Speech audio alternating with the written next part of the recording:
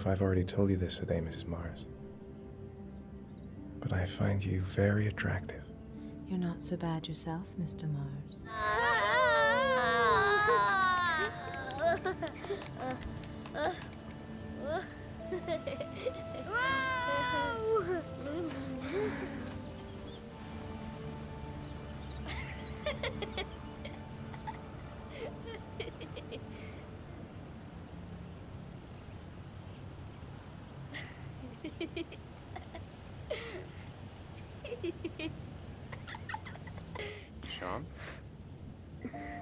What's up? It's Merlin. He's dead. He's dead and it's all my fault. No, it's not, Sean. Of course it's not your fault. I'd give anything if you could come back to life. You know, Sean, there's some things which just have to happen. Even if you don't want them to. It's not fair, Dad. It's not fair.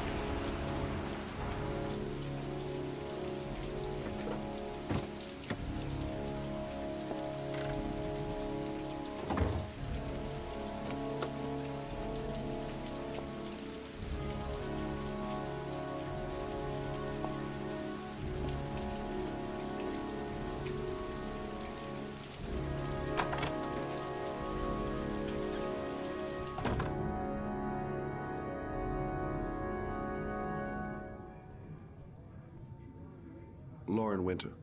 Ring any bells? Nope, can't say it does.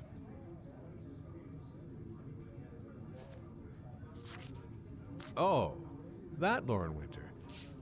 Third floor, last door on the left at the end of the corridor.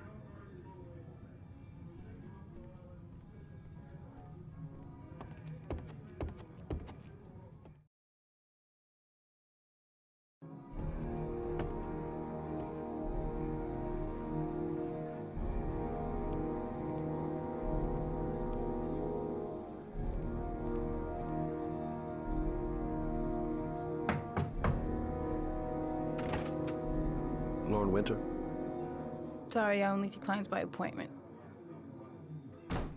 Wait,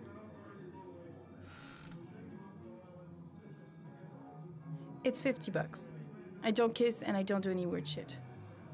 fine by me.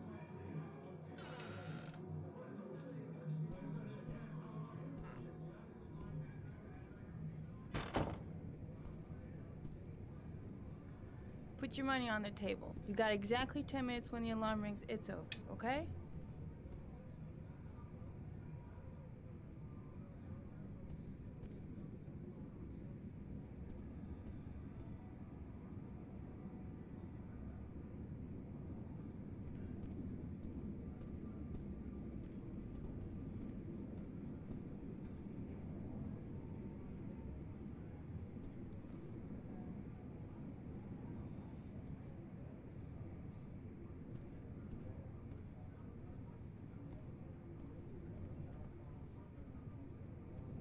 You should take your clothes off. We ain't got all day. Actually, I'm not a customer. Shit, a cop. I should have known. What you want? A freebie? Is that it? My name is Scott Shelby. I'm a private detective. The families of the victims of the origami killer asked me to investigate the murders. I came here just to ask you some questions about Johnny. I already told the police all I know and I have nothing to add. Leave me alone. I understand, Lauren. I know what you're going through. Oh, yeah? You know what it feels like to find your own son's body on a wasteland? I'm sorry, I don't believe you have the slightest idea what I'm going through, Mr. Shelby. The killer is walking around free as we speak. He'll kill again if he's not arrested. My Johnny's dead, so what difference does it make?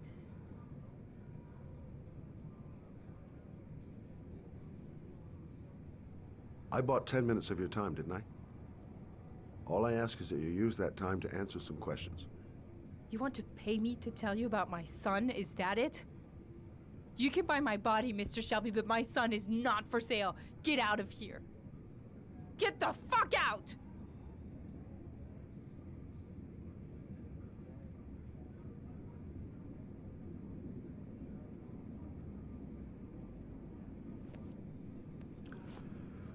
Well, if you remember anything, the smallest detail, give me a call.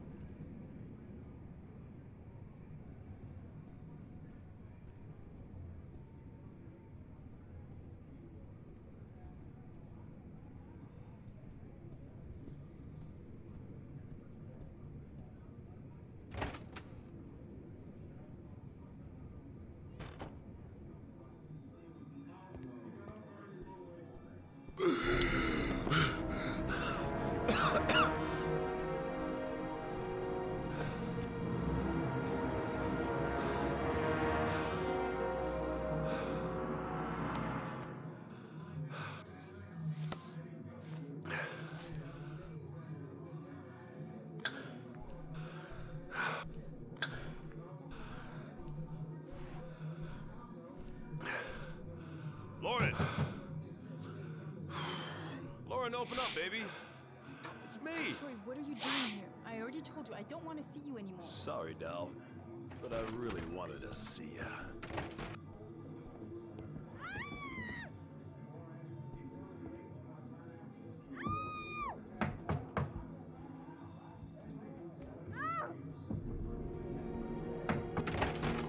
What do you want, asshole? Lauren, is everything all right? She's just swell. Now beat it, loser! You again? If you're looking for trouble, you found it. I'm gonna beat the shit out of you. Oh!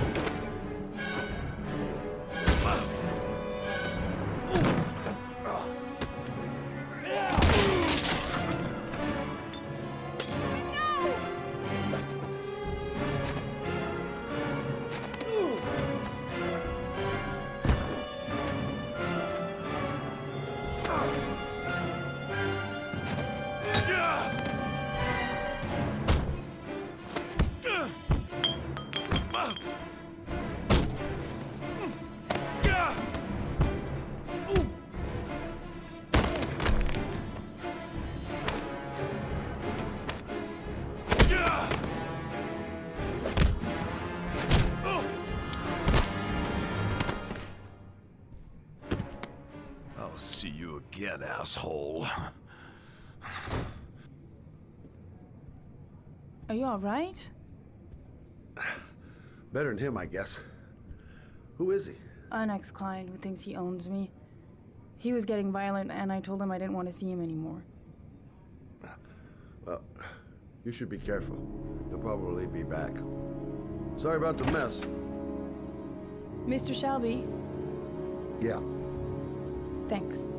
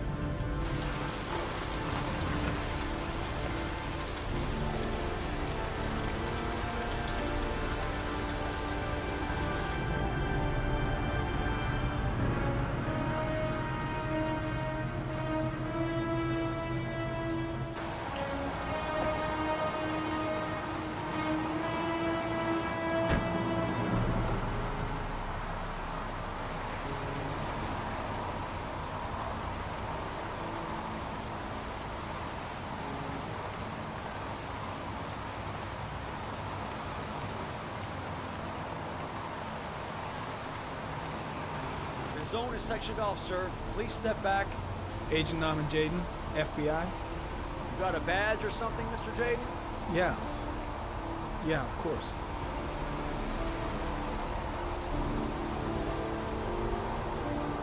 Check. You can pass. I'm looking for Lieutenant Blake. Is he around? I saw him arrive earlier. He's here somewhere. Thanks.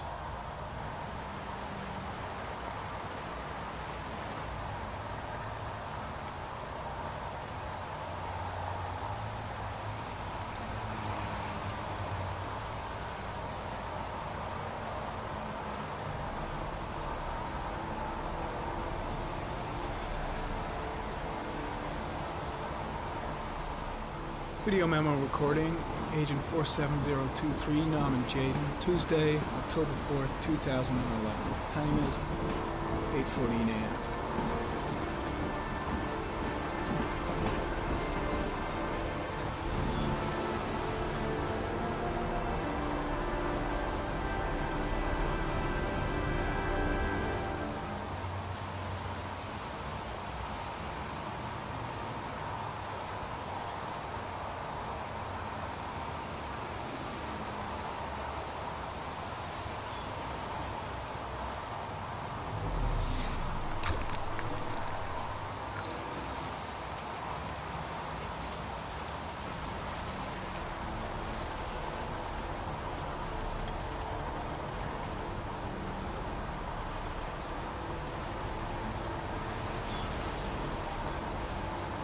Unrelated to the investigation.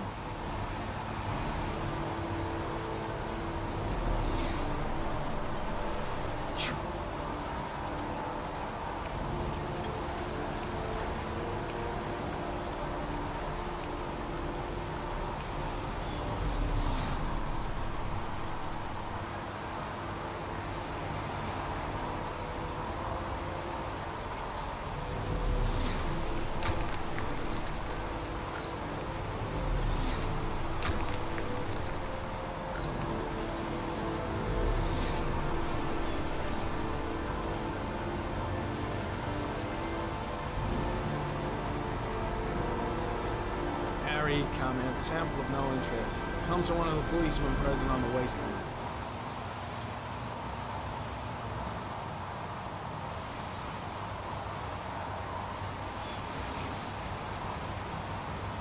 Lieutenant Blake? I'm Agent Norman Jayden from the FBI. I went by your office this morning. They told me you'd be here. Now, if you're looking for rain, dead bodies, and highways, you come to the right place. Mike, will you tell that asshole with the bulldozer to stop for five minutes? I can't hear myself think here. Right away, Lieutenant.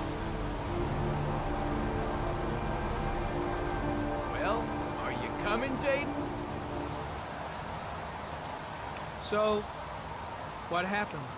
Some guy taking his dog for a piss found a body about 6 o'clock this morning. We don't know much more right now. Based on what we've seen, looks like the work of the origami killer.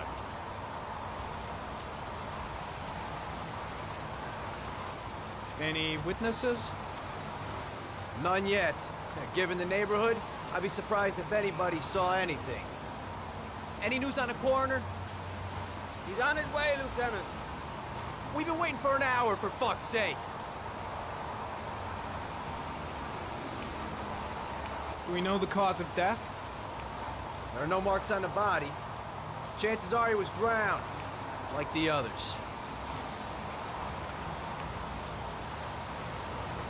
Has the body been identified? No, not yet. We should know more later today. Tony, I don't want to see a single shit-stirring journalist within a mile of here. You got it? Yes, Lieutenant. Do you have any leads? My men are going over the scene with a fine-tooth comb. If the killer left anything behind, we'll find it. Listen, I I'm a little busy here. Why don't we discuss all this a little later, back at the office? Oh, no problem. I understand. Do you mind if I have a look around? Be my guest. Hey, Jayden, come and see me if you find anything, okay? We're on the same team now.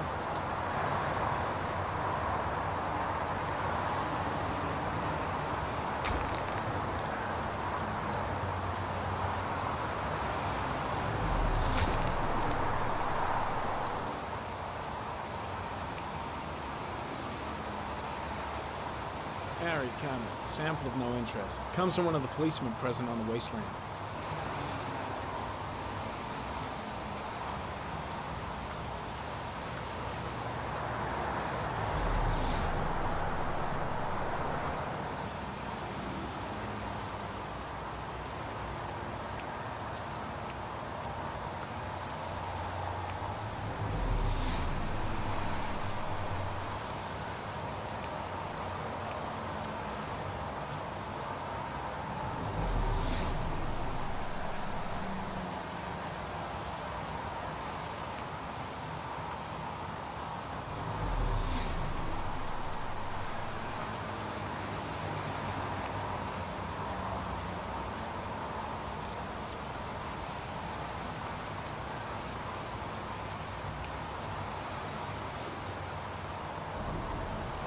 Harry comment. The victim is lying on his back.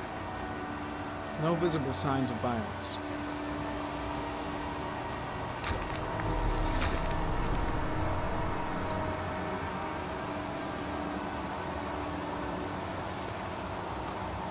An orchid was placed on the victim's chest.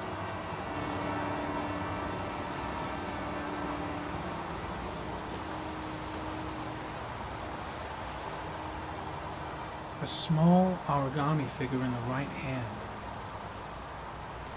Fingers were probably closed after the time of death.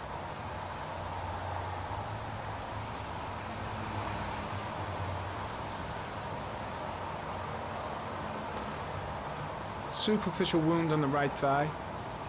Blood analysis suggests it could be post-mortem. Probably a scratch that occurred when the body was being moved. The blood report indicates an advanced and long-lasting state of exhaustion.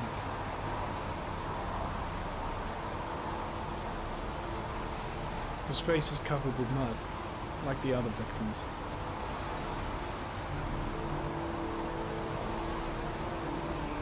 The victim is Jeremy Bowles, declared missing five days ago. See reference file.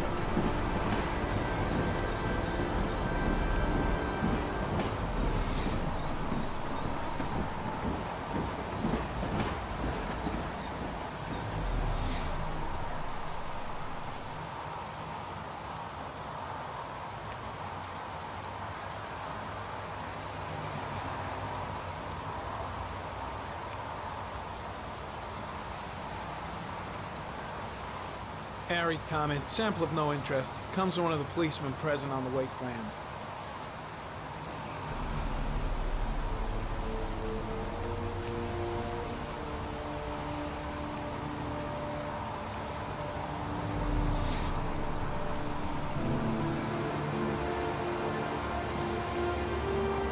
Harry comment, orchid pollen detected, probably from the flower left on the body.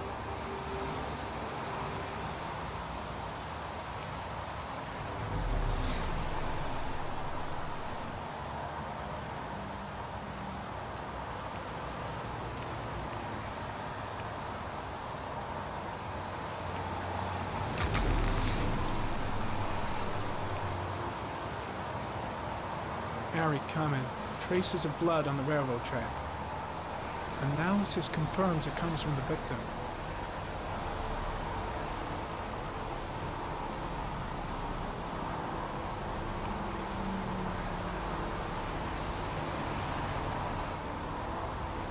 Footprints continue just after the pollen trail.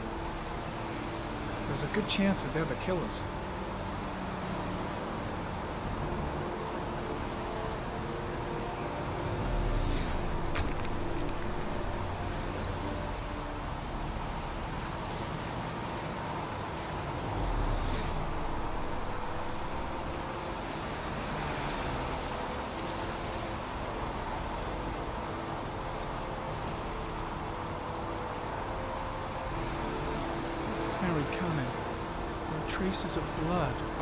Behind the railroad line.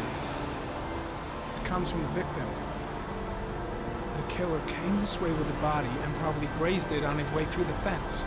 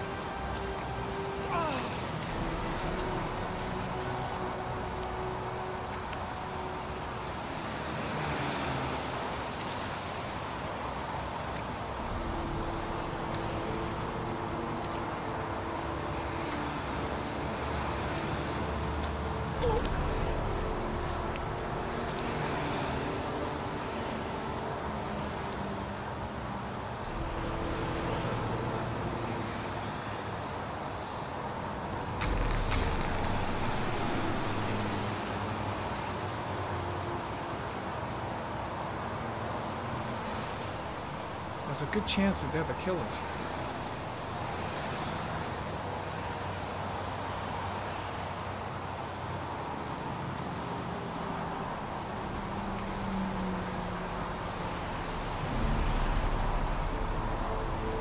Harry, comment. Tire tracks on the side of the road behind the railroad line. And maybe the killer's car. Think I've seen all there is to see.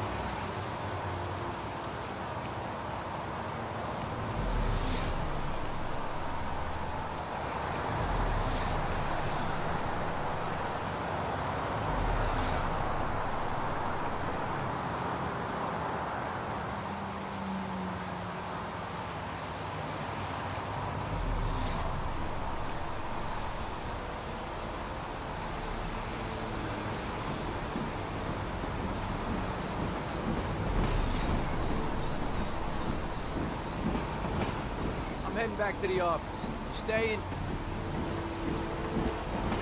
No, I've seen enough. I'm leaving too.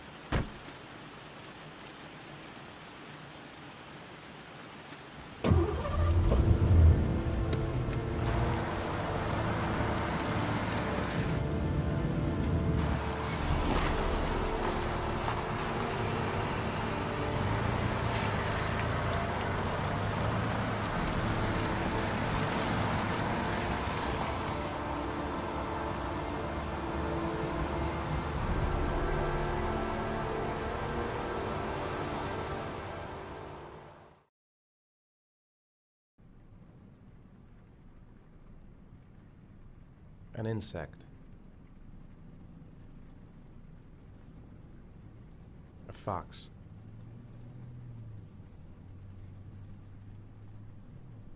A crab.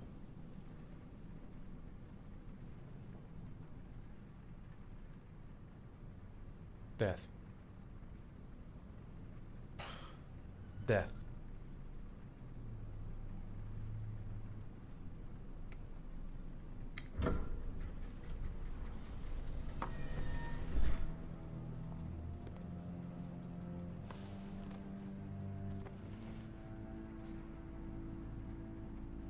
I have the results of your MRI scans. Everything seems to be normal. There is no physical damage from the accident. However, I am worried about your psychological condition. I know it's not easy, but you've got to start over, Ethan. You're not responsible for what happened. It's my fault Jason is dead. He'd still be alive if I'd been looking out for him. It was an accident. Accidents happen every day. You can't blame yourself forever for your son's death. How is Sean?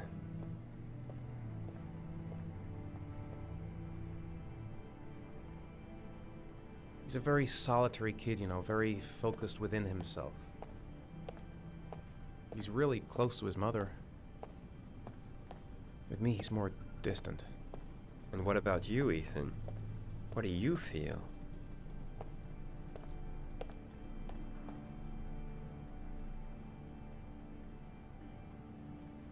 I stopped living at the same time Jason did. When that car ran into us. Is there something else you wanted to tell me, Ethan?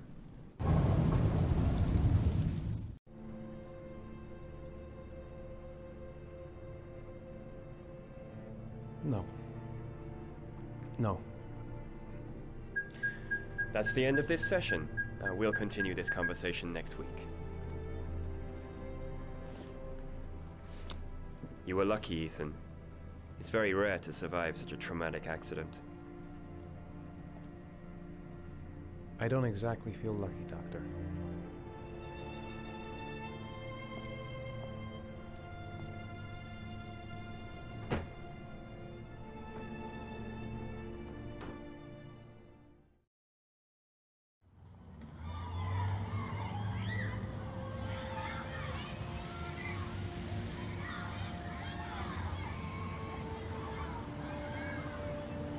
Is something the matter, Sean?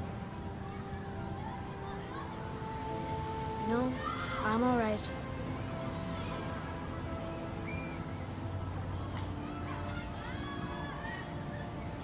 Aren't you gonna go play with the other kids? I don't feel like it.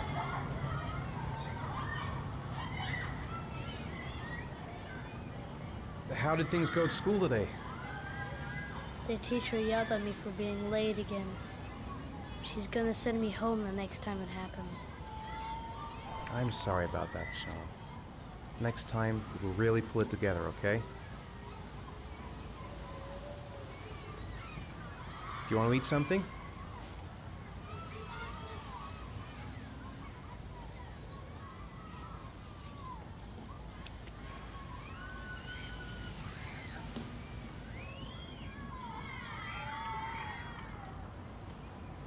I haven't been on a seesaw in a long time. What do you think? Yeah!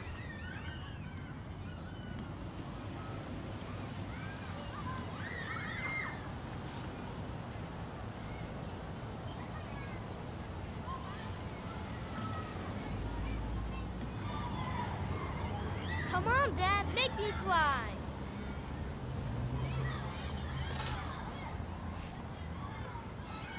No, Dad, you're not doing it right. You gotta push off at the right time.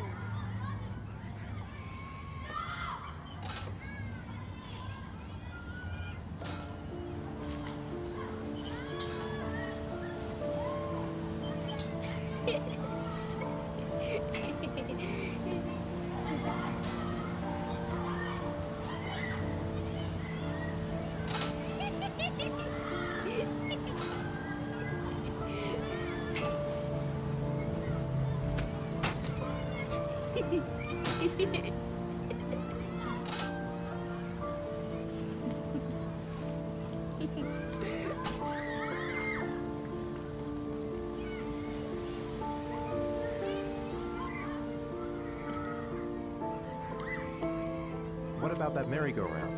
I bet I can push you so fast you won't be able to stay on it.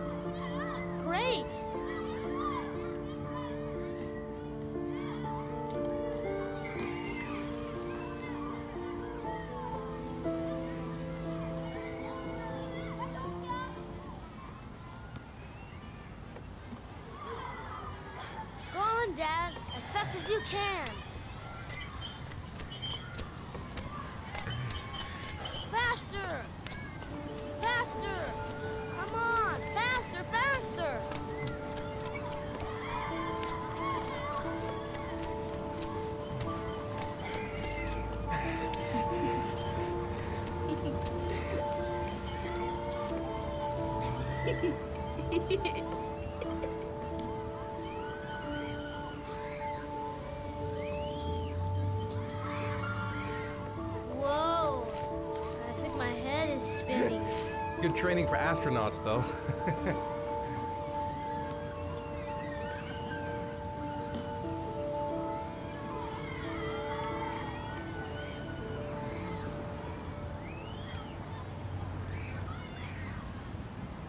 I'd like a packet of strawberry flavored chewies, please. Thanks. Hey, I got you some chewies. I hate strawberry. Thanks. It was nice of you anyway.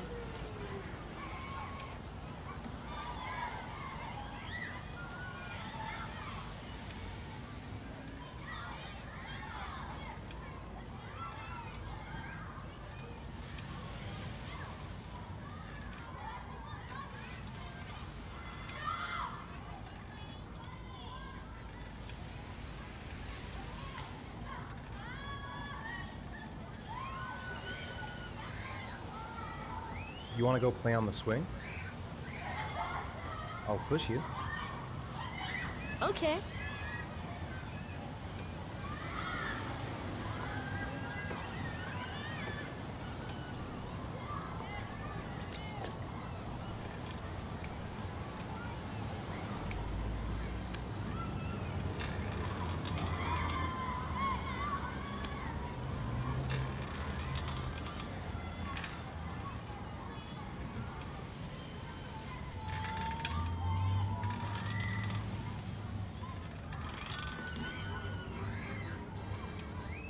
Pushing Dad.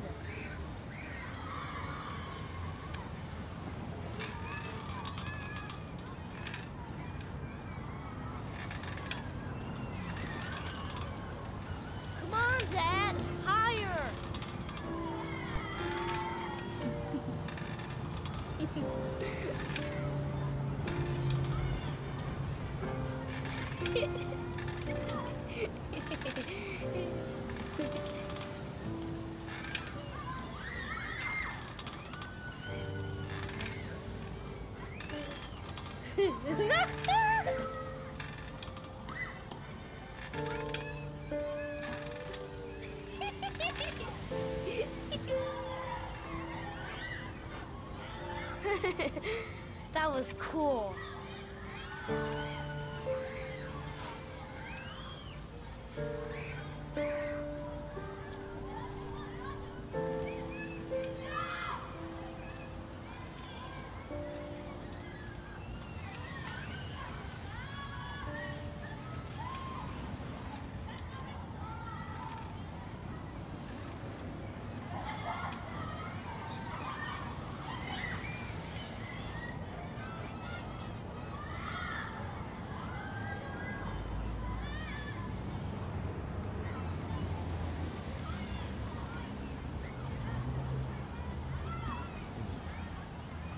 Looks like rain's coming.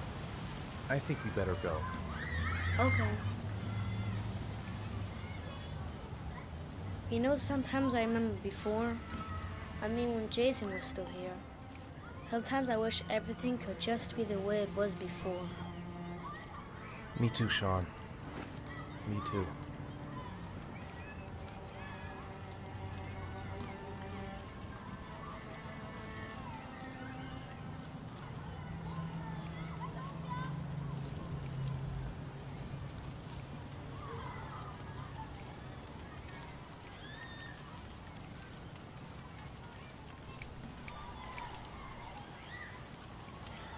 Hey, Dad, can I have a ride on the carousel? Can I? Sure. Go pick a horse and get on. I'll get a ticket. One, please. That's a dollar.